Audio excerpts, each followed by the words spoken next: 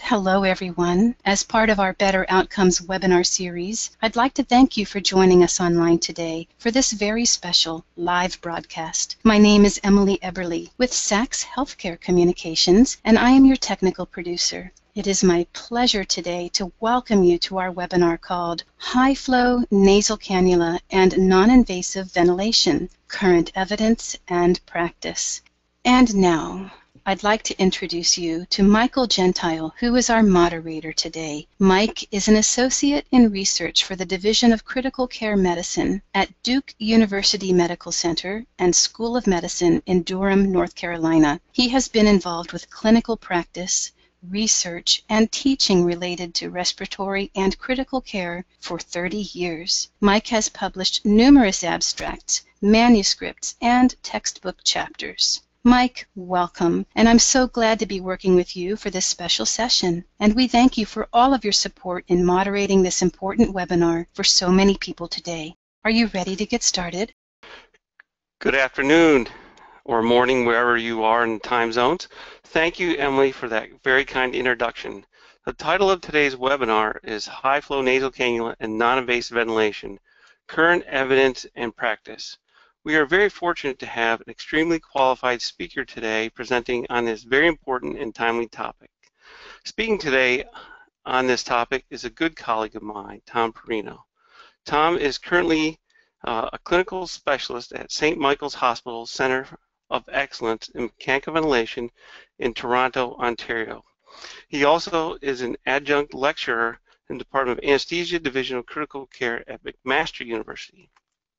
Prior to this current position, uh, Tom was a clinical educator for respiratory therapy services at St. Joseph's Healthcare in uh, Hamilton, Ontario. His publication expertise includes several peer review articles and studies, as well as being on editorial boards for the Respiratory Care Journal, Respiratory Care, or Canadian Journal of Respiratory Therapy. Tom is a highly sought after speaker and is presented at several international and national conferences. Today, uh, Tom has disclosures for consulting and speaking for Draeger, Mallinckrodt, and Philips Healthcare. This is a, uh, a, slide that will tell you this educational activity is approved for one contact hour. Um, and we'll go over this at the end, so don't uh, be afraid if you miss these very important details. A link to uh, get these CE credits is available at the conclusion of the webinar today and will also be posted online. Uh, support for this educational uh, uh, activity was provided by Philips Healthcare. Uh, and so with that, um, I'm ready to turn it over to Tom. Tom, are you ready? I'm ready. Thank you very much, Michael. I hope everyone can hear me. Let's get started. And let's begin with the learning objectives for the presentation are to review the evidence-based practice of non-invasive ventilation, describe the delivery and mechanisms of action related to high-flow nasal cannula, and to review the literature landscape comparing non-invasive to high-flow nasal cannula. Now, when a patient is in respiratory failure, if they require urgent intubation, the type of failure doesn't change the fact that you require a mechanical ventilator to manage a respiratory failure. And you should hopefully be using this ventilator in a way that protects the lung. In attempt to prevent intubation, the type of failure has traditionally influenced the choice of supportive therapy. So for type 1 hypoxemic failure, the choice is typically supplemental oxygen, and positive pressure ventilation is typical for type 2 hypercarbic failure.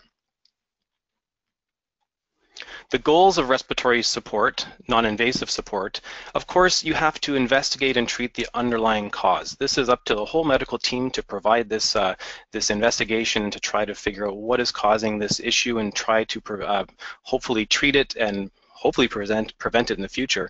Um, but of course, we have the more acute things that we have to deal with, like making sure that we provide sufficient oxygenation. We need to support oxygenation, try to reduce work of breathing, do our best to keep the patients comfortable. And all of this um, is equivalent whether it's invasive or non-invasive ventilation. However, when it comes to invasive ventilation, we often add this whole idea of protecting the lung and making sure that we don't cause lung injury, but this isn't always uh, at the forefront of uh, providing non-invasive therapy. But I will talk a little bit about this during this presentation. Now the literature for non-invasive ventilation is growing at an exponential rate and becomes very challenging for clinicians to stay up to date with current evidence. Luckily, there are things such as clinical practice guidelines that are published that basically systematically review the literature to provide evidence-based recommendations to help guide clinical practice. This guideline, published in 2011 by the Canadian Critical Care Trials Group, assessed the literature related to non-invasive use in, a, in the listed patient populations from COPD exacerbation, asthma, acute lung injury, uh, immunosuppression during bronchoscopy. As you can see, the list is quite extensive for all of the conditions that have been researched with non-invasive ventilation, and I'm preferring to non-invasive positive pressure ventilation right now. BiPAP or CPAP as otherwise uh, referred to. And with these guidelines, they essentially found that these clinical scenarios here, COPD exacerbation, cardiogenic pulmonary edema, immunosuppression, early extubation for COPD, transition after planned extubation in high-risk patients, so patients at high risk of failing extubation, and treatment of acute respiratory failure after surgery. Now, these were the only ones that had a recommendation supporting its use, and they used the grade scoring system. If you're not familiar with the grade scoring system, one is related to strong evidence, two is weak evidence, a indicates that further research is unlikely to change that recommendation. B is that further research likely will change the recommendation. And C is that further research is very likely to change the recommendation. So as you can see for COPD exacerbation and cardiogenic pulmonary edema, we have strong evidence and an A grade essentially means that further research is unlikely going to change the recommendation that non-invasive ventilation is a good strategy for managing these patients. Now the problems with guidelines is that they're not usually updated as fast as the literature is published. So for example, I'm going to focus for a moment on the last one there, the treatment of acute respiratory failure after surgery. Currently the only recommendation in the literature that they have is weak evidence um, and again, that further research is very likely to change this recommendation, and they only have this specifically for lung resection patients in terms of recommending its use. Now, more recently, we actually have a trial that was um, looking at non-invasive ventilation in patients with hypoxemic respiratory failure within seven days of abdominal surgery.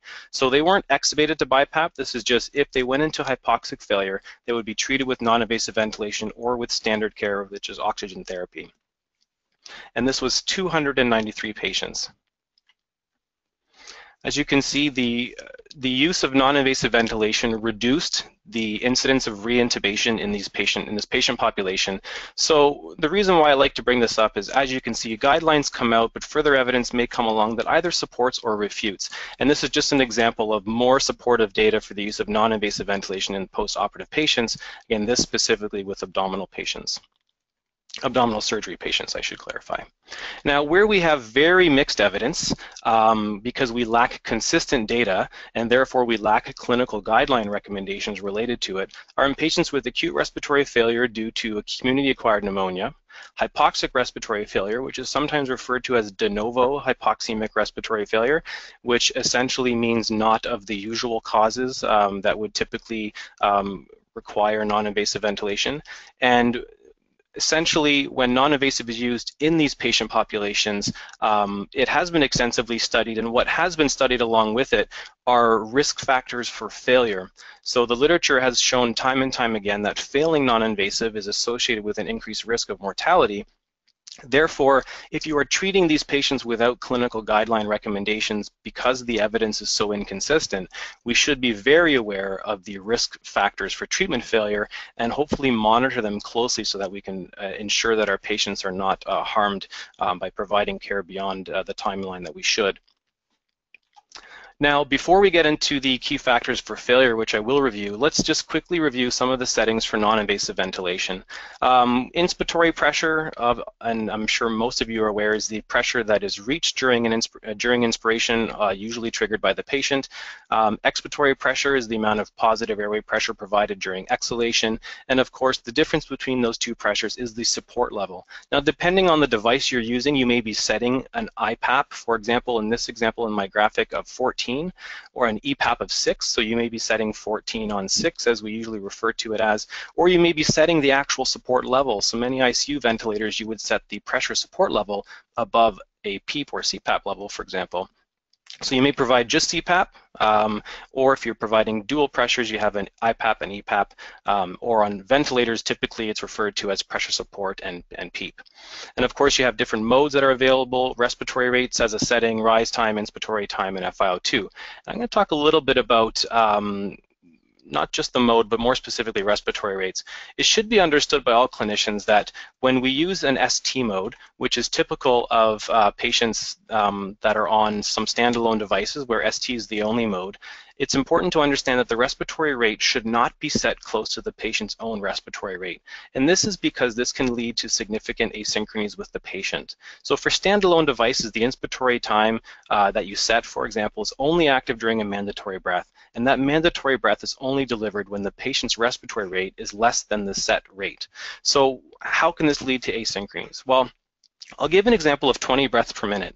If, the, if it's 20 breaths per minute set on the machine, the patient has three seconds to make a spontaneous effort before the machine kicks in and forces another breath to the patient, regardless of whether they want it or not. So if the underlying rate, if their underlying rate is close to 20 but fluctuates, this can lead to asynchronies when the ventilator is forcing not only a breath but also a breath with a fixed time. So it's important to understand to keep the respiratory rate set lower than their respiratory rate. Uh, now, leak compensation is not typically an adjustable setting, but I want to bring it up because it is mandatory for non-invasive uh, ventilator, uh, non-invasive ventilators to uh, to function as a device uh, because of the leaks related to the interface, because it's not, of course, invasive with an endotracheal tube. Here's an example of uh, some of the non-invasive um, masks that are out there in the literature. Um, the one on the left, again, a full face mask, and then you have the total face mask where you're covering the eyes and the mouth. These are just common in acute care. There are a number of interfaces, but these are probably the most common in acute care. The one on the far right is the helmet device, which is more commonly used in Europe, but a recent randomized control trial that I won't I won't review in this in this presentation uh, was published last year, and it led and it, it will likely lead to further studies uh, looking at the physiological benefits of this type of interface uh, because it was the study was in significantly in favor of this helmet device. Now, from a North American perspective, I'm not sure if it's available in the United States, but it just became available in Canada recently. Um, so this is why there's not a lot of research being done uh, within the uh, within North America related to this device, but there's a significant amount being done in Europe. Now, some other considerations prior to getting into the risk factors. Um, not a lot of clinicians may understand this, but most of the research studies uh, dealing with non-invasive ventilation don't use expiratory pressures above 10 centimeters of water for the reason that it contributes significantly to interface leaks. So they will usually write it into the protocol that the EPAP pressure is titrated between 5 and 10 or it was not increased beyond 10 due to leaks. Um, I've only found one study that used 12 centimeters of water and that was for cardiogenic pulmonary edema. So majority of the evidence out there in terms of what we're trying to apply best practice at the bedside, the evidence actually limits the use of expiratory pressure. And when it comes to IPAP, it's typically mentioned that IPAP is titrated, usually to relieve dyspnea in the patient. So not necessarily for targeting tidal volume, uh, but usually inspiratory effort. And one of the things that needs to be considered, and this was uh, demonstrated quite nicely in uh, Dr. Slutsky's article in New England Journal of Medicine in 2013 about ventilator-induced lung injury, saying that if someone's spontaneous effort is significantly high, so in this example, their pleural pressure drops to negative 15 centimeters of water, even a low alveolar pressure of 10 centimeters of water can cause a transpulmonary pressure of 25 centimeters of water. Therefore, we could be contributing to lung injury in these patients. And so therefore, if we're not paying close attention perhaps to the tidal volume being generated by these strong efforts, we may be missing something. And what I tend to think might happen because of the lack of understanding of all this is that the use of non-invasive in the real world practice is more like the Wild West, um, where we are trying our best to make patients comfortable, we're trying to improve their blood gases, and we may not recognize other issues like an increasing leak in the interface that, you know, hopefully we're not strapping the mask tighter, but if we are because the interface is leaking more, is it because we're using pressures that haven't been used in research, so therefore we don't know if they're actually beneficial, um, or are we allowing patients to indraw large amounts of tidal volume just because we're trying to support their efforts? So I think, you know, we need to be aware of what the literature has done and what it can recommend, and then sort of reflect on our practice. So the key risk factors for treatment failure, now this is a combination. What I've done is I've combined risk factors for both hypercarbic respiratory failure and hypoxemic respiratory failure studies. And I've grouped um, a number of them that are sort of consistent and some that, that are unique to hypoxic failure. But I've grouped and get them together into this table when I've categorized them from the patient and medical condition um, to the respiratory parameters, essentially the, um, the respiratory status related to gas exchange, measured values through patient monitoring, and then the patient response. So for patient and medical condition, their age, level of consciousness, severity of illness, and use of vasopressors, shock, uh, so if the patient's in septic shock, for example, are very high indicators of they're going to likely fail non-invasive if they have a if they're very severe. Uh, if they have a very high severity of illness score and they're on uh, vasopressors for shock, they're likely to fail. For COPD patients with a pH less than 725, they are more likely to fail. And in fact, most patients with pH less than 725 are not even included in non-invasive ventilation studies. So that's also something to keep in mind when you're applying non-invasive to a patient uh, with a pH less than 725, that we don't have evidence that this is actually helpful. Uh, for hypoxemic respiratory failure patients, having a pH that is less than 735, so less than normal, is, an is again is a risk a risk factor. Doesn't mean they're going to fail, but just all of these things combined can indicate that your patient may likely fail. Uh, SATs less than 90 for more than five minutes, and a low baseline PF ratio of less than 150. For monitoring at the bedside, recent studies, and I'm going to review these first two uh, in more detail, tidal volumes greater than 9.5 mils per kilo of predicted body weight have been associated with failure in hypoxemic respiratory patients managed with non-invasive ventilation, and something called a HACORS score, and I'll review this, uh, greater than 5 at one hour uh, was a high was a very good predictor of failing non-invasive ventilation. And of course, intolerance of interfaces is another one that we can easily monitor at the bedside. Um, response to the patient, uh, so if they're failing within one to two hours, uh, this is an indicator, or sorry, they should, they, if they're failing to improve within one to two hours, then this is a key indicator of failure. So success of non-invasive of non-invasive ventilation is not, it doesn't take hours to sort this out. Now, for predicting failure, this is the, the, study I mentioned about tidal volume. When they looked at patients with, in the overall population, uh, even in patients with mild and moderate uh, ARDS, or sorry, hypoxemia, based on the PF ratios um, of the Berlin definition. So these patients didn't all necessarily have ARDS, uh, but they had PF ratios consistent with ARDS. So mild would have been PF ratios between 2 and 300, and then the other group was all less than 200. And in all groups, at least 50% of the patients were receiving tidal volumes that we would consider injurious on invasive ventilation. And when it comes to the variables that were associated with failing non-invasive, the usual suspects were associated with non-invasive failure, so immunosuppression, low PF ratio at baseline, uh, again, severity of illness scores. But then they also measured minute ventilation and tidal volume at the beginning and end of each non-invasive uh, non-invasive ventilation session and averaged them.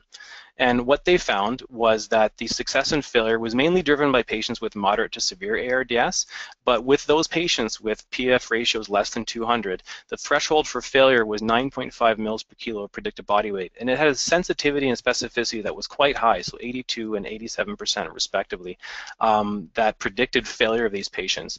They, the authors do conclude that this should be tested in a randomized control trial, but uh, the results tend to essentially make sense. I mean, we, we know lung protective ventilation is important in invasive ventilation, and it's not surprising that it may predict failure in patients that are being non-invasively ventilated. Now, if you're wondering if the patients that failed were, they just had more or higher pressure support, and that's why their tidal volumes were higher, they did demonstrate that the pressure support settings during non-invasive ventilation were, uh, were equivalent, they, so they were not significantly different between the two groups. Now, the HACORS score is one that I found quite interesting. This was a study published in Intensive Care Medicine last year. There was 449 patients included in the testing cohort where they gathered all this information and tried to figure out if there was a scoring system they could use with heart rate, acidosis, consciousness, oxygenation, and respiratory rate to see if non-invasive ventilation failure could have been predicted. So then they took this equation and tested it in 358 patients. And the study looked um, so one of the things I like to point out, sorry, this was my joke and I totally just crashed it. Uh, I think if I named the study, I would have rearranged the uh, HACORS score uh, to say something a little bit more exciting like Roach, but I'm not sure people would want to uh, talk about this in the ICU. Someone might get scared. Not, I'm not a comedian, obviously. Uh, so here, um, th th this is a table. So if you read the study that I mentioned on the previous page, if you want to see what the scoring system is, you'd have to download the supplemental data. However, I do review this study and the previous one. Actually, a number of these studies published in 2016. I did um, mention them and talk about these in my 2016 year in review that was published last month in respiratory care. And I do provide the table with the scoring system looking at heart rate, pH, GCS, PF ratio, and breathing frequency or respiratory rate. And basically they found that a HACOR score greater than 5 at 1 hour had a diagnostic accuracy of predicting non-invasive failure at 81.8% in the test group and 86% in the validation group. So again, very good predictive value. Another interesting part of this study that was uh, was found is they looked at the time to intubation. So this is all of the patients that did have a HACOR score greater than five at one hour, so they were highly predictive of failing. They looked at patients that were intubated less than 12 hours and those that were intubated after 12 hours, and there was a significant difference in hospital mortality between the two groups. You can see 66% in the group that was intubated early and 79% in the group that was intubated late. Having said that, both of these are quite high in terms of uh, mortality, hospital mortality. So as I already mentioned, non-invasive ventilation failure is associated with higher mortality. But if you delay intubation of these patients, it's significantly higher. This also supported previous data published in 2012 where they looked at patients with de novo hypoxemic respiratory failure. And again, I will uh, re-mention that the HACOR score was in patients that were treated with um, hypoxic respiratory failure with non-invasive ventilation. And this study showed the same uh, problem with when there is a delay in extubation, or sorry, in intubation of these patients treated with non-invasive, there is an increase in mortality for patients that are in hypoxic de novo failure. Whereas patients with underlying cardiac and respiratory disease, the delay in intubation actually didn't change mortality in this study. So I, I, think, again, we're, we're sort of getting to this point where hypoxic patients, maybe more particularly patients that are in moderate to severe uh, ARDS category of hypoxia, uh, may not ventilate from non-invasive ventilation, and we probably should be looking for other answers to manage these patients.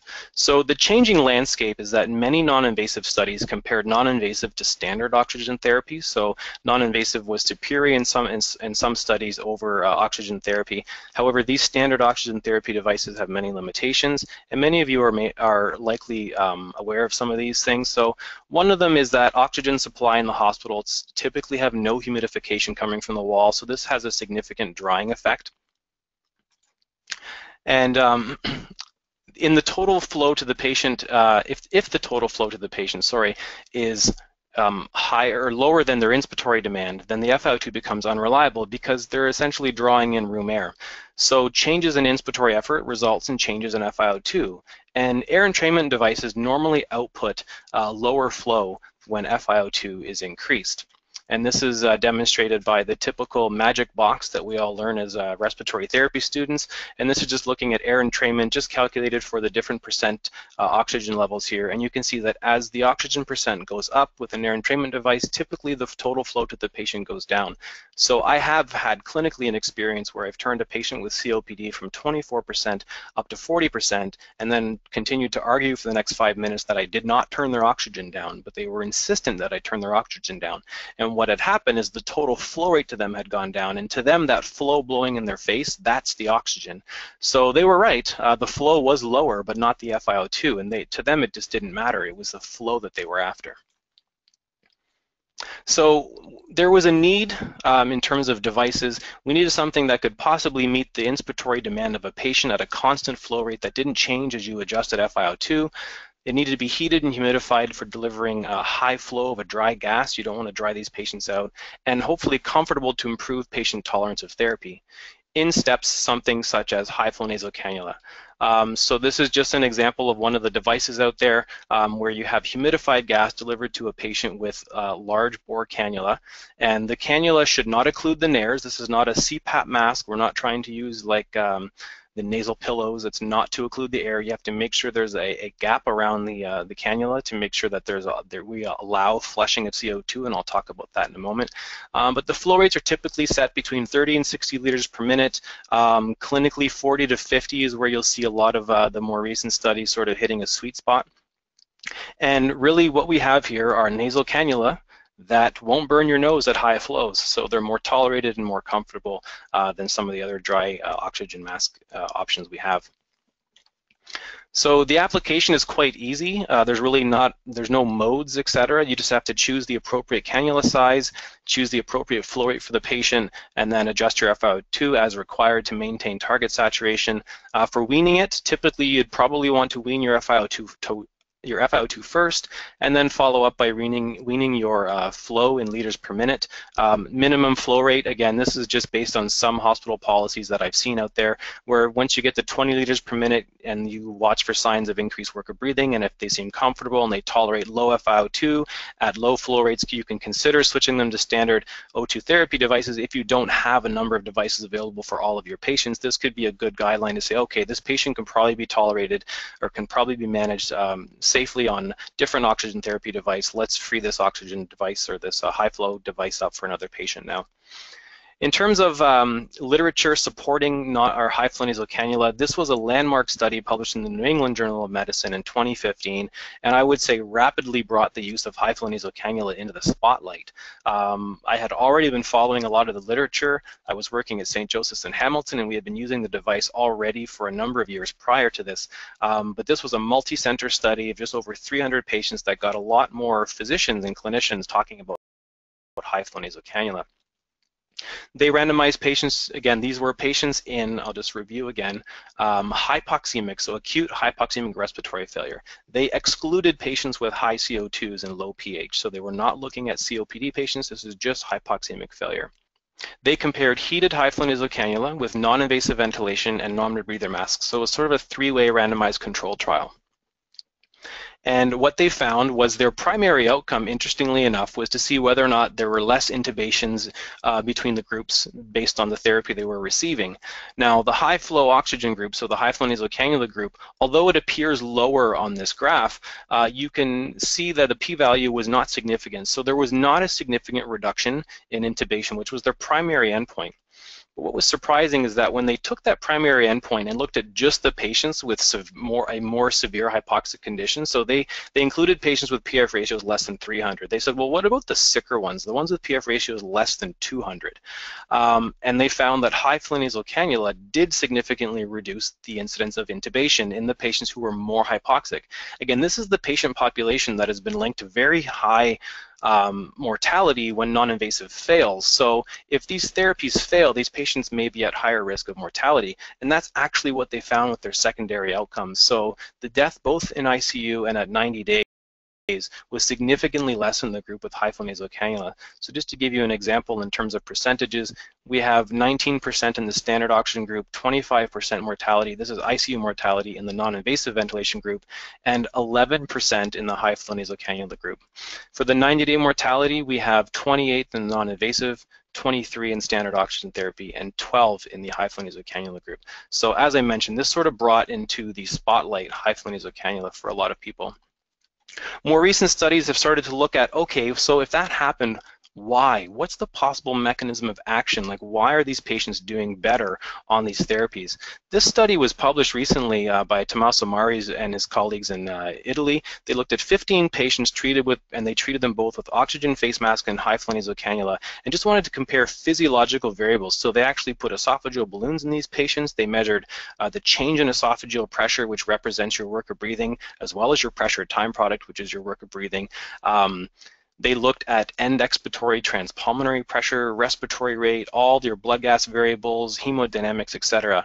And again, what was interesting is that compared to an oxygen face mask, uh, nasal cannula had a reduction in the change in esophageal pressure, so that's a, redu a reduction in inspiratory effort. Um, they actually uh, had a reduction in um, the pressure time product. Interestingly enough, the end expiratory transpulmonary pressure was higher, which it was quite negative. It was negative 10 in the oxygen therapy group once they switched them to high flow. And these aren't just, by the way, I shouldn't say in the oxygen therapy group. These are the same patients, but were basically tested first on an oxygen mask and then switched over, or they were randomized to start with high flow and then switch to oxygen mask. So they were looking at the same patients, but their their um, response physiologically to changing therapy. So an increase in end expiratory uh, transpulmonary pressure is important. Um, we have an improvement in PF ratio and So these are some of the physiological aspects that are changing that we don't see at the bedside. These are all parameters and things that are measured with more uh, advanced uh, respiratory monitoring. Um, but there's reasons for this. So this was an editorial published in the Blue Journal uh, by a colleague, Ewan Goligher and uh, Dr. Art Slutsky, um, looking at the physiological effects of high flow nasal cannula. And you can see there's five main points that, that we're looking at in terms of what's different with this compared to other oxygen therapy devices. It's heated and humidified inhaled gas. It washes out upper airways, so it actually reduces the anatomical dead space. As the patient exhales, you have a fresh gas flow flushing out that CO2 that they're exhaling, so your dead space, your anatomical dead space is reduced. We have high inspiratory flows into the nares, we have positive airway pressure that could be generated, and we have entrainment of ambient air is less with these devices because it meets the patient's inspired flow demand. Now, when you look all the way down through all these mechanisms, you see that you know they basically improve the comfort and tolerance of the patients. It can offload some of the work of breathing, so diaphragm load and injury, decrease ventilator-induced lung injury if you're reducing the rate or the amount of inspiratory uh, pressure being generated, and of course, keeping oxygenation uh, stable so that pa when patients are breathing at different uh, flow rates, et cetera, uh, inspired flow rates, that they're not reducing their FiO2. So it keeps that oxygenation up. And this is why we think there it's resulting in improved clinical outcomes. Now, one of the patient populations that have been um, controversial in terms of invasively ventilating them, up until recently, non-invasive ventilation has been shown to be uh, the way to go with immunocompromised patients to avoid intubation. Um, there's a couple of studies that have come out recently looking at high nasal cannula in immunocompromised patients and again, this is with acute respiratory failure. They looked at 115 immunocompromised patients. They compared the outcomes with high flow nasal cannula and non-invasive ventilation. This was a study published last year. And you can see that the non-invasive group um, had less survival than the high flow nasal cannula group. Now there's obviously a number of factors that could be related to this. So they looked at all the associated factors for not only associated with intubation, but also um, um, the use of, or sorry, the uh, mortality at 28 days. And what they found, again, a lot of the usual suspects again. Uh, we have simply, again, a higher severity score, et cetera, use of vasopressors, um, age, and what was interesting is they found non-invasive ventilation as first-line therapy, therapy to be associated with this um, with these with these issues. So what they did is they did a uh, propensity score match these patients um, to look and see, okay, well let's match them for all those other variables, and then just look at those two variables, whether they had non-invasive ventilation as a uh, as a uh, primary um, mode or as an initial mode of ventilation, uh, and or high flow nasal cannula. And when these propensity score match them, again, you see non-invasive is associated with higher mortality, as is higher intubation rates and mortality of those intubated patients. So we're getting to the point now where it seems that immunocompromised patients really should likely be managed with the least invasive methods as possible. Um, there, I just saw an abstract yesterday, actually, from uh, some colleagues here in Toronto. Uh, they did a systematic review. It's not published yet, but I just can comment briefly on the abstract. They looked at nasal cannula compared to standard oxygen therapy mask uh, in patients with immunocompromise, again, looking at the literature out there. And they also looked at the non-invasive literature, and yes, they did find that oxygen therapy is definitely superior to non-invasive in this population in terms of reducing mortality, or in favor of uh, oxygen therapy rather than non-invasive. Um, Interestingly enough, one of the comparisons they made was a standard oxygen mask to high flow nasal cannula, and they did not find a difference in the literature for immunocompromised patients between those those two groups. But more studies were needed. There were very few studies um, that were available that looked specifically at that, but just, just more things coming down the pipeline that are leaning towards the least invasive method of managing uh, immunocompromised patients is probably the important. Now the effects of post-extubation in, in patients that are at low risk, so this is just your average patient that gets extubated in the ICU. This study by Hernandez, published in JAMA last year, looked at 527 patients considered very low risk for extubation failure, and they randomized them to receive the standard nasal cannula or non-rebreather mask or a high flow nasal cannula. And they found an all-cause um, reintubation was lower with the high flow nasal cannula. Now, this number of 12% um, in the conventional group is considered low reintubation rate. That's that's close to normal for, for most ICUs, but it was significantly lower in the high flow nasal cannula group, which is which is was surprising because these patients are not at high risk of failing. Um, again, you can see you can see overall um, the change over time. So 72 hours, you can just see the separation in a Kaplan-Meier uh, analysis. I just like these graphs, so I like to put them up, but it tells you the same thing as the previous slide so I'll move on. Um, then they took this idea and said, well, what about patients at high risk of failure? So we know that patients at high risk of failure, the recommendation, the guidelines again, um, based on the Canadian Critical Care Trials Group article I started off this presentation with, recommends the use of non-invasive ventilation for high risk patients post-extubation. So for this randomized trial, they did what's called a non-inferiority study. So when something's already recommended by the literature and the guidelines, you test to see if something is inferior or not to it. So they looked at 604 patients that met criteria for extubation failure. Now keep in mind, there's not a standard list of what means uh, you're at high risk of failure. So they, it was a large list of list of uh, conditions that were placing these patients at higher risk of extubation failure. Um, the interventions they did for 24 hours, either high flow nasal cannula or non-invasive ventilation. Now the 24-hour mark has to do with their hospital policy for transitioning patients out of the ICU. It's not likely what would happen in real practice. If someone is tolerating high flow nasal cannula, it doesn't mean they're going to get sent out of ICU the next day. So most hospitals, at least the ones I've worked in, don't have a policy that after 24 hours you have to stop that therapy. Um, now their inferiority cutoff was 10%. So if the difference was more than 10%, they would consider it inferior. Um, now, what was interesting in all-cause reintubation, they had a difference of 3.7%. So it did not cross the inferiority mark, so meaning high flow nasal cannula was not inferior to non-invasive ventilation, so you could provide this safely. And the post-extubation respiratory failure, interestingly enough, the number says 12.9%, but that's actually in favor of the high flow nasal cannula, so again, not inferior to non-invasive ventilation. So if you have a patient that you're extubating to non-invasive ventilation, it's and they're not tolerating it. If you have the ability to deliver high flow nasal cannula, clearly it's not inferior to do so. Um, I still personally, this is my personal opinion, if I know my patient has underlying COPD or chronic lung disease with high levels of CO2, um, I would probably choose non-invasive right now because we have more data specific to that patient population. This study looked at all patients at, at high risk and they did not separate patients with underlying um, COPD. Um, again, when the reason why I show the graph for this now is you can see up until 24 hours, there really is no difference in the reintubation rates. After 24 hours, remember at 24 hours, they stopped the therapy in both groups, and there seems to be a separation between high flow with, with higher intubations occurring in the, in the high flow group. When you look at this graph, you have to understand the scale and the fact that after 72 hours, that difference is only 3.7%, which to them statistically was not inferior to non-invasive ventilation, but something to consider. Um, there was no difference in 28-day mortality between the two groups, as demonstrated by this Kaplan-Meier analysis as well.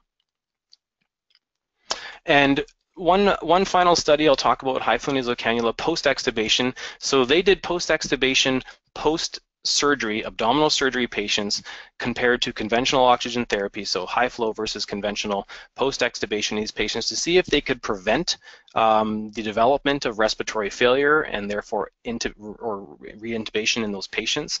Uh, they found overall there was no significant difference managing patients with high flow nasal cannula to standard oxygen therapy in terms of uh, post-operative pulmonary complications. So they compared the two within seven days. There was no difference whether or not you treated them with high flow or not. If they were going to get uh, any post-pulmonary or post-operative pulmonary complications, um, being on one therapy did not provide any benefit. Now there was a nice editorial that, um, pu published in Intensive Care Medicine that sort of looked at this. Uh, Post-operatively, we know patients may have developed some atelectasis during their surgery. So in patients with minor atelectasis, high flow nasal cannula or oxygen therapy may be completely fine. High flow nasal cannula may be better in that patient population.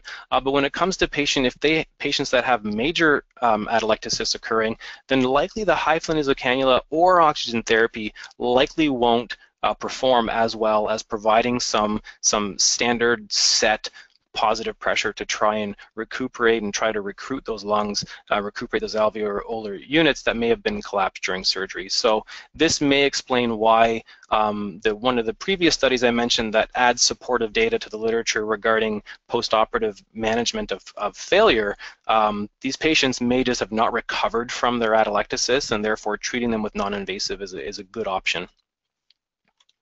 So to summarize sort of the clinical scenarios that I've uh, that I've looked at um, and mentioned in this uh, in this talk, um, COPD exacerbation and cardiogenic pulmonary edema, at this time, we only have significant strong data supporting non-invasive ventilation uh, for those groups. And again, with a pH between 725 and 735 for COPD exacerbations, keeping in mind that pH less than that, those patients were not included in the study. Uh, for cardiogenic pulmonary edema, again, we still just have non-invasive as a, as a gold standard recommendation 1A evidence. Um, doesn't mean that studies won't come out looking at non-inferiority to these two, but if they did have studies comparing COPD exacerbation with non-invasive and high flow, they would likely be a non-inferiority study, or because we already know that there we have evidence to support better outcomes with non-invasive. So it's likely not going to improve upon that, but it may be as good. We don't know yet. Uh, we have to study this. Immunocompromised patients, non-invasive ventilation was shown earlier to be better than invasive ventilation, but I think we're leaning more towards not just high flow nasal cannula, but oxygen therapy in general, and trying to reduce the amount of uh, positive pressure delivered to these patients. Um, Post-extubation failure uh, patient, patients at high risk of failure, we now have a non-inferiority study showing that you could do either or with these patients and feel comfortable about it. Um, again, I added that caveat that if they had underlying COPD, you might want to lean towards non-invasive, but they didn't, um, they generalized their population and they included all those patients and they found it not to be inferior. Uh, Post-extubation with COPD, so early liberation, this is one of the recommendations in the, uh, in the clinical guidelines I mentioned earlier. Um, we don't have this sort of data um, in high-flow nasal cannula. These are patients that may not meet your spontaneous breathing trial um, uh, criteria, but they have underlying COPD, so you just decided to get them off the vent earlier. Um, and then for hypoxemic respiratory failure patients, the with PF ratios 200 to 300, um, it looks like non-invasive ventilation and high flow nasal cannula both could be considered. Uh, with PF ratios less than 200, it's leaning more towards therapies such as high flow nasal cannula over non-invasive. And just a quick reminder, I won't go through these again, but just please try and remember your risk uh, factors for failure learn them, understand them, pay more attention to them. Um, I think as clinicians, we sometimes get rushed because we're seeing a lot of patients, we, have, we get called away, so we may not be paying close enough attention to some of these things, but I think if we were to pay closer attention to these things, we may improve the outcomes of our patients. And please remember, do not delay intubation in hypoxemic patients that meet these criteria. It's very important to recognize these patients earlier to try and minimize the uh, adverse outcomes that could happen. And with that, I'm going to conclude uh, my presentation, and I thank you very much for uh, attending and listening, and I'm going to hand it over to uh, Mike to uh, facilitate some question and answers. Mike, are you there? I am here, and Tom, thank you for a great talk uh, with some very timely uh, information and summarizing many studies. Now we're going to move to some questions, and I want to thank uh, all the participants today. We have a, a number of great questions, and what I'm going to do is try and break them up into the two topics of non-invasive ventilation and then high-flow nasal cannula. And so, Tom, if you can comment, most of the, the uh, literature you presented today was on adult patients. Uh, do you have any comments uh, regarding non-invasive ventilation or high-flow nasal cannula in pediatric patients? So I, I, will apologize that my niche uh, is adult critical care. Uh, I do know that the excitement for this type of therapy is just as high in the pediatric population. Um, I know there are published studies looking at this, and there are ongoing studies looking at uh, not only different categories of patients with a high flow, um, but also um, comparing to non-invasive ventilation. Um, I don't know, Mike, if you are familiar specifically with a number that maybe you could help out with that, but I, I do I do uh, tend to lean towards the adult critical care. Uh, when I look at this, I find it uh, it tends to have the larger numbers, uh, but uh, perhaps you could comment on that so those of you in the audience, if you look at your service area and you look at the number of adult ICU beds, uh, they're probably much, much, much, much greater than those of pediatric intensive care. So the numbers, especially for non-invasive ventilation, there is a, a not much, uh, especially randomized controlled trials on this topic. The evidence, though, in neonates and pediatrics for high flow nasal cannula um, there's many reports uh, regarding that. So maybe that is a topic we can do for another webcast. Yes, I, I, can quick. Sorry, Mike. Um, I, I, could comment briefly. There, there are definitely some studies looking at uh, high flow nasal cannula in neonates, uh, both post um, post birth and and basically uh, post extubation as well. Uh, post extubation seems to be pretty promising um, as a replacement to CPAP. There's one study that showed similarities um, compared to CPAP post extubation. However, um, in patients um, or in infants that are uh, premature, um, that data doesn't really hold true or doesn't hold the same sort of weight. So it's important that when you're looking at the literature to pay very close attention when you're looking at the uh, the neonate literature, pay close attention to the weight and uh, gestational age of the of the um, of the uh, patients to make sure that you're not overgeneralizing the results of, of those studies. Okay, thank you, Tom a question that was brought forth by Kristen and then several other people where you spoke about a SpO2 less than 90 for five minutes. And several of us who've done uh, non-invasive ventilation for a long time, that was sort of surprise. If you can comment a little bit on that. Yes, that risk factor was specifically for hypoxemic patients, not COPD patients. We tend to target COPD levels between 88 and 92. Um, that less than 90% for five minutes. For those excited about high nasal cannula, they need to be aware that in the New England Journal of Medicine, that landmark paper by Frat um, and colleagues that I mentioned, um, they that was one of their criteria for failure uh, of oxygen therapy providing intubation. That was one of the criteria that had to be met, which was SATs less than 90 for more than five minutes. Again, these are not patients where you would want to accept those saturations. These are just hypoxemic patients that no matter what you do, whatever intervention you have, you can't increase their SATs above 90% uh, for more than five minutes. So these patients would likely, in terms of clinically, this is what they would look like. They would be on 100% FiO2 with SATs less than 90 for five minutes. It's not meaning if your SATs drop below 90, you don't do anything. Clearly, the first step would be to increase your FiO2, but it's if you can't manage them on, you know, a high level of FiO2, perhaps 100%. Um, if they're still saturating that low after five minutes, you should consider in intubating that patient. Again, just hypoxic patients, not COPD. So I hope that that sort of clarifies. It does, thank you. Uh, another question that was brought forth by Patricia was in the patients on non-invasive ventilation who also have uh, obesity or OSA and that the EPAP needs to be much higher than and or of 10 and but they can't really help uh, go above that and they also have hypercarbia. Uh, can you comment on that? Because I think a lot of your data was on more respiratory failure.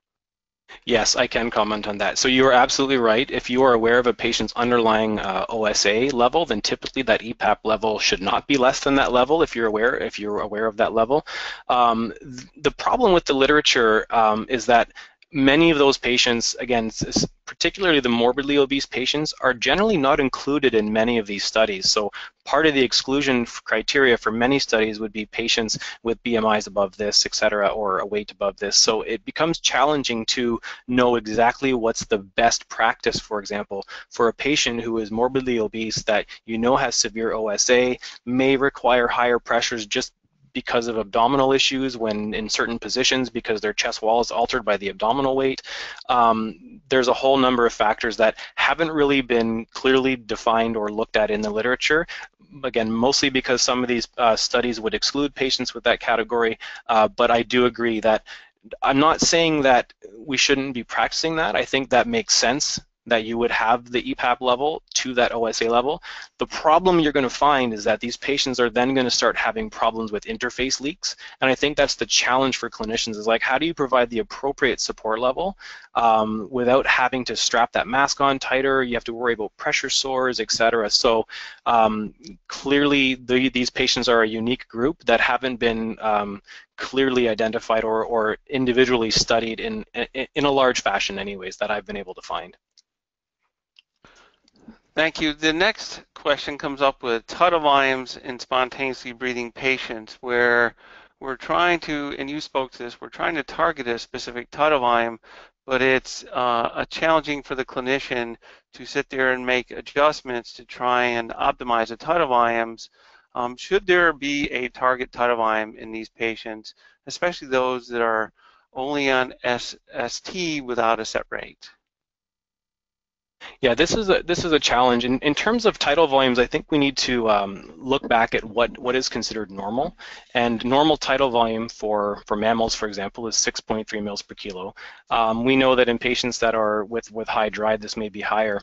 Um, but in terms of titrating the inspiratory pressure, I, I think that really the the take-home point of that message was if if we don't know because of leaks, et cetera, what tidal volume is actually appropriate uh, for patients deli being delivered non-invasive ventilation, we have to consider the evidence that's coming forth now. So again, this is one study. It should be validated in a larger uh, randomized trial, but if we're aware of the tidal volume, I think that should, again, indicate to us that this patient may likely fail. But in terms of what's the best tidal volume for non-invasive, that might be up for debate um, because is six mils the most appropriate level uh, or is eight mils per kilo the appropriate level? We don't really know the exact level. We just know the threshold at which failure seems to be more common in hypoxic patients at least.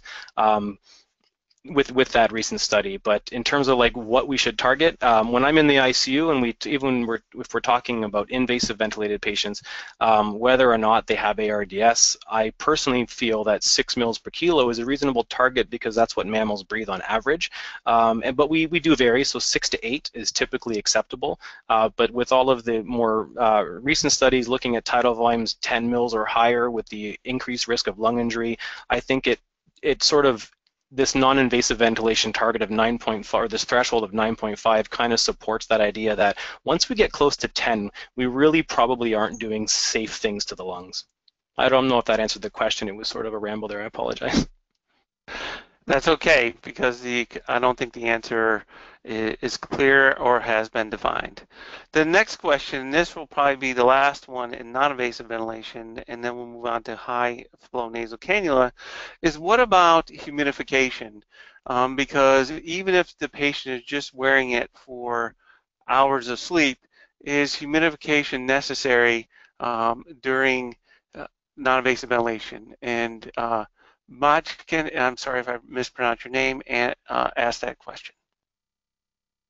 This this is a very um, interesting topic because even when I read these papers, not a lot of them confirm or deny whether or not they're using heated humidification. Um, what we and again, they're in studies looking at humidified or not humidified.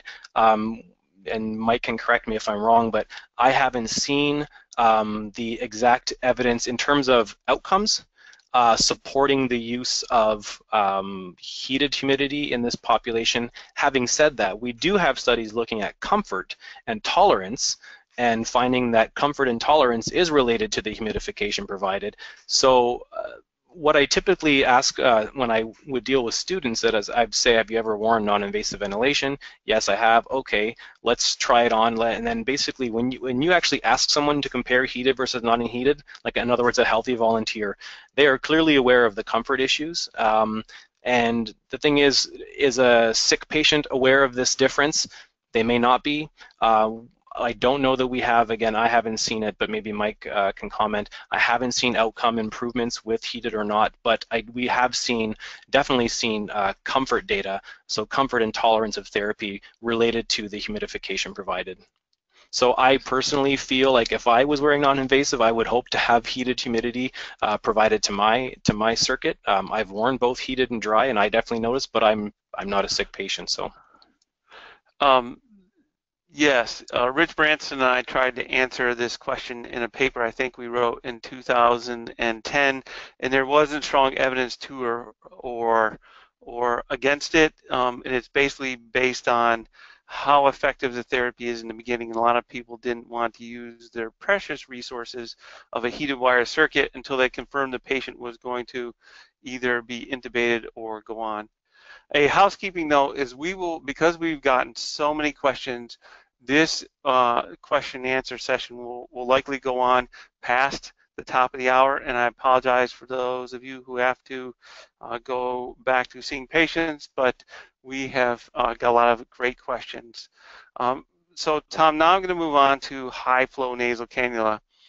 And there's been a tremendous uh, number of questions about, um, we all can assume Um, but is there any evidence that this is really flow dependent PEEP? Meaning if you go up on the PEEP from or the flow from 30 to 60, is there CPAP or PEEP generated uh, with the patient?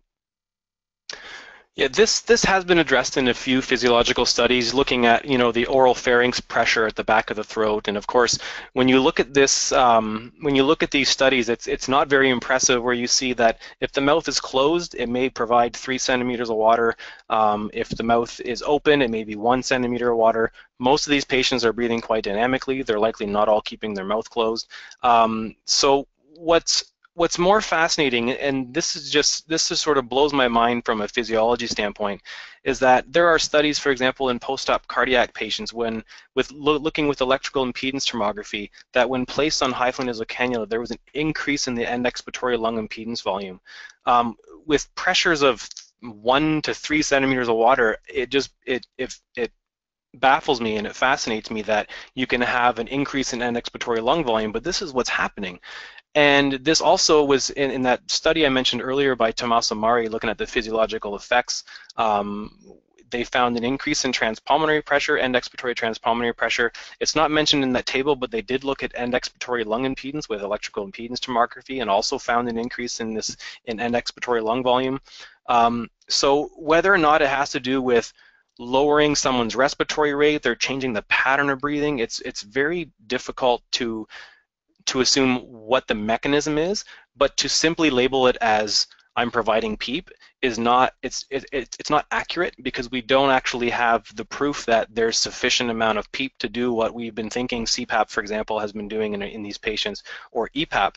Having said that, many of the studies, as I mentioned, use lower levels of EPAP, um, so like five to ten. But if you told me you were going to try to achieve 10 centimeters of water uh, with high nasal cannula, I, I I'd be like, okay, that's interesting because I haven't seen that level of of um, of pressure being measured uh, in the oropharynx. But it, like, like I said, there's there may be other mechanisms as to why end expiratory lung impedance is increasing, unrelated to the generation of positive end expiratory pressure. If that if that answers that question at all. so there are several studies by uh, Cheryl Park was the first person to measure this, and there's been other studies, but um, that's in a, a research setting. Clinically, we know it's there, but we can't measure it, unfortunately. But now we're going to talk about a different topic, which is the home use. Uh, is there any evidence that this would be a great, uh, uh, if we can get the patients who are not weanable off high-flow nasal cannula, can we get them to go to the um, to the home on high-flow nasal cannula? There has definitely been a shift here in Ontario and Canada. Um, we are sending a lot more patients home on high flow nasal cannula than we were before um, with the use of devices uh, like home like not just home devices, but some of the similar devices we're using in the hospital. I'll just give an example of the Airvo or the Air, Airvo 2. Uh, I know that there's sort of a, there's a mechanism for some of our home care companies. That's the device that they're carrying. So much like a CPAP device, these patients would uh, get this device set up in the home and then titrate like T oxygen into this device. So we are seeing an increase in that. Um, it's probably going to be different depending on where where you where you are.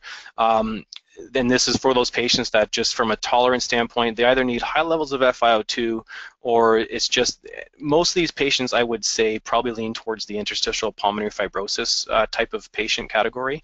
Those tend to be the patients that once they're on it, they absolutely love the therapy because it provides a high inspiratory flow and that's what they need. Um, whether or not it takes off, I'm not sure. Um, it seems to be picking up in Ontario, but I don't know if maybe someone from the U.S. or Mike yourself, if you're aware of any of any of this going on for transitioning patients home. Uh, there is growing support for that um, in in many uh, places here in the U.S. The there's several questions that have been posed about how how is the best way to deliver aerosol therapy both to patients on non-invasive ventilation and on uh, high-flow nasal cannulas. Can you address that, please?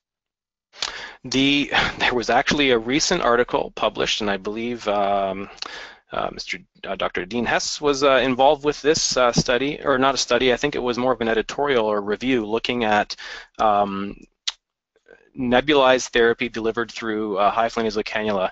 And if I'm not mistaken, um, oh, I'd have to I'd have to quickly uh, review it to answer this question accurately, but essentially. Um, it depends on the size of the cannula, the flow rate to the patient, etc. Whereas if someone's on high flow nasal cannula, you may be better off delivering your normal um, your normal mechanisms, for example, um, a face mask with uh, with with MDI or with the Aerogen, for example, as a, a device to deliver uh, humidif or not humidification, um, um, nebulized therapy.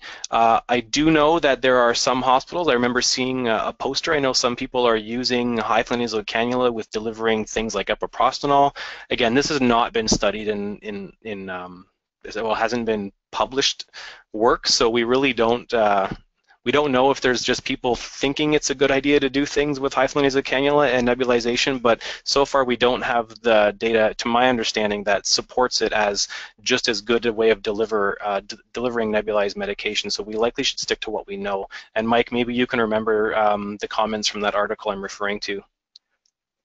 C correct, because both of these um, are a paradigm shift, non-invasive ventilation and the high flow nasal cannula, because instead of intubating the patients, we have a lot of people um, in our ICUs on these two uh, interfaces, and a lot of times their only respiratory care will be um, these devices with uh, even a vibrating mesh nebulizer, and they avoid intubation, which I think is good for the patients. Ladies and gentlemen, unfortunately, our time has run out. I apologize that we could not get to all your great questions. Um, and this is um, certainly Tom's um, email address and other things if you want to do that, or if you want to email me. I thank you for your participation. We had a great audience today and a lot of thoughtful questions. I'll now turn it back over to Emily. And I'd like to thank you very much for your time, both Tom for this informative presentation, and as well to you, Mike, for being our moderator today. It's been such a pleasure working with both of you. And I'd like to thank each and every one of you, our guests in the live audience today, and as well those of you in a future time who are attending this recorded session. We thank you for your time and your thoughtful attention. And now this does conclude our session for today. Take care, everyone, and bye for now. We'll see you again next time.